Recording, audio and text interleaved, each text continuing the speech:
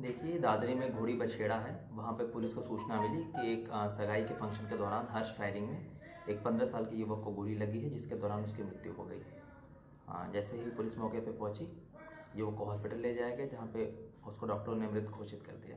इस संबंध में मृतक के परिजनों के लिखित तहरीर पे चार लोगों के खिलाफ नामजद मुकदमा लिख दिया गया है। आगे की विधिक कार्रवाई की जा रही है। सर, ये जो असला था, ये शस्त्रधारी जो था, ये लाइसेंसी था या अवैध था? अभी तक जो बात सामने आ रही है, जो वादी द्वारा तो वो अवैध असलहे की बात हो रही है।